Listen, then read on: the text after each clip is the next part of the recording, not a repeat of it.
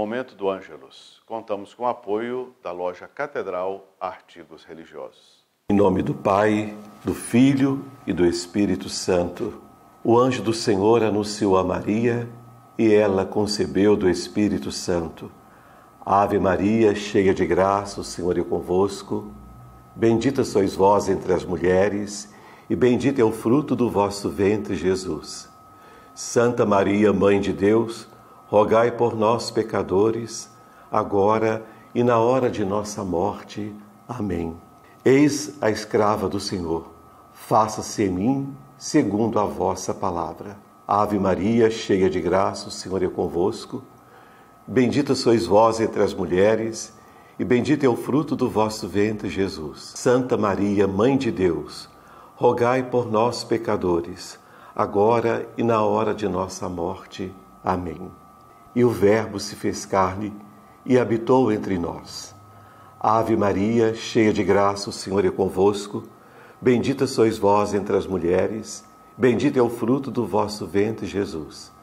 Santa Maria, Mãe de Deus, rogai por nós, pecadores, agora e na hora de nossa morte. Amém. Glória ao Pai, ao Filho e ao Espírito Santo, como era no princípio, agora e sempre. Amém. Oremos. Infudi, Senhor, em nossos corações a vossa graça, para que, conhecendo pela anunciação do anjo a encarnação de Jesus Cristo, vosso Filho bem-amado, cheguemos por sua paixão e cruz à glória da ressurreição. Amém. Rezemos, irmãos, nesta oração do Ângelus, deste mês da Bíblia, que a palavra de Deus, que esse momento que estamos unidos num só coração e numa só alma, ajude a tantas pessoas necessitadas da nossa oração.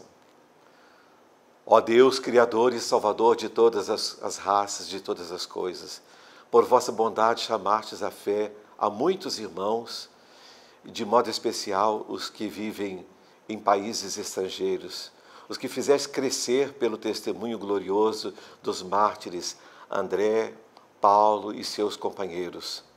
Concedei que, pelo exemplo e intercessão deles, possamos perseverar até a morte na observância dos vossos mandamentos. Por nosso Senhor Jesus Cristo, vosso Filho, na unidade do Espírito Santo. Rezemos hoje. Nós estamos preparando também e vivendo com a paróquia São Mateus, a festa de São Mateus que se aproxima. Então, a oração de hoje também em união com o Padre Dons, com os demais padres e outras pessoas, que os leigos e leigas, que ajudam na paróquia São Mateus a celebrar o seu padroeiro. Estejamos atentos a toda a programação. A carta de São Paulo a Timóteo, o, o sexto capítulo, o versículo de 2 a 16, nos ajudam nesta tarde. Caríssimos, ensina e recomenda estas coisas que ensina doutrinas estranhas e discorda das palavras salutares de nosso Senhor Jesus Cristo e da doutrina conforme a piedade, é obcecado pelo orgulho, um ignorante que morbidamente se compraz em questões e discussões de palavras. Daí é que nascem invejas, contendas, insultos, suspeitas, porfias de homens, mulheres com mente corrompida e privados da verdade, que fazem da piedade assunto de lucro. Sem dúvida, grande fonte de lucro é a piedade, mas quando acompanhada do espírito de desprendimento, porque nada trouxemos ao mundo, é, como tampouco nada poderemos levar, tendo alimento e vestuário, fiquemos satisfeitos. Os que desejam enriquecer caem em tentação e armadilhas em em mitos, desejos loucos e perniciosos que afundam os homens na perdição e na ruína, porque a raiz de todos os males é a cobiça do dinheiro. Por se terem deixado levar por ela, muitos se extraviaram na fé e se atormentam a si mesmos com muitos sofrimentos.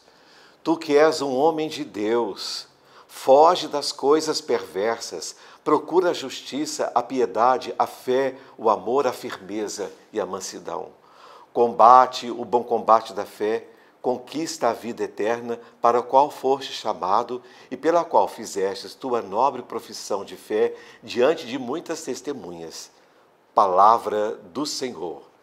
Transformemos o que essa palavra tocou o nosso coração nas nossas orações. Diante do Senhor que nos ama e nos fortalece em Sua bondade e misericórdia, façamos nossas preces com toda confiança e piedade, rezando. Acolhei no Senhor em vossa bondade. Santificai vossa igreja e inspirai-lhe palavras, gestos, atitudes de vosso reino e que ela cumpra com fidelidade e dedicação sua missão, nós o suplicamos. Guiai as comunidades na escuta e na vivência da vossa palavra, para que nelas todos se sintam felizes e vivam na fraternidade e na solidariedade, nós o suplicamos. Concedei aos ministros de vossa igreja a esperança, a paz e vossa misericórdia, e que eles sejam felizes no exercício do ministério sacerdotal, nós os suplicamos.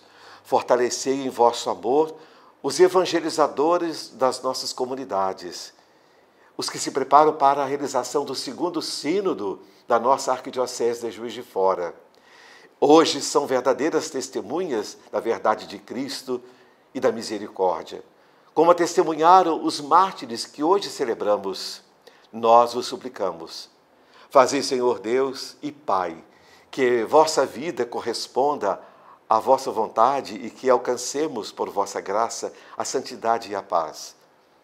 Por Cristo nosso, vosso Filho e Senhor nosso, pela intercessão de Nossa Senhora, Mãe da evangelização, Mãe de Cristo, Mãe da Igreja, a bênção de Deus Todo-Poderoso, que é Pai, Filho e Espírito Santo, desça sobre vós e permaneça sempre. Amém. A oração do anjo tem o patrocínio da loja Catedral, artigos religiosos em Juiz de Fora. Amém.